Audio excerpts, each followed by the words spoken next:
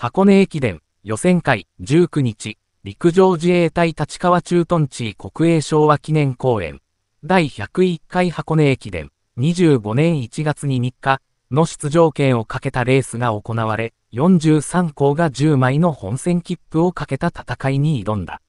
予選会は各校10から12人が参加し、上位10人の合計タイムで争った。東農大は11時間1分26秒でわずか1秒差で11位となり、本戦出場を逃した。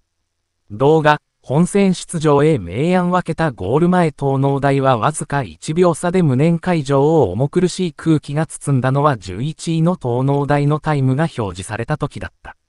10位の順天堂大とはわずか1秒差。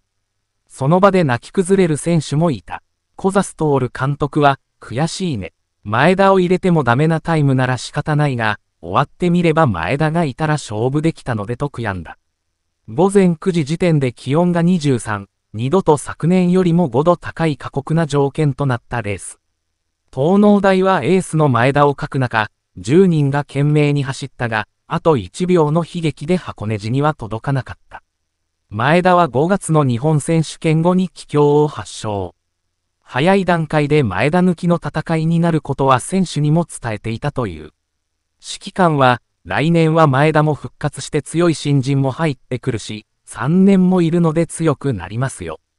この悔しさを忘れず、来年こそはトップ通過を目指すと力を込めた。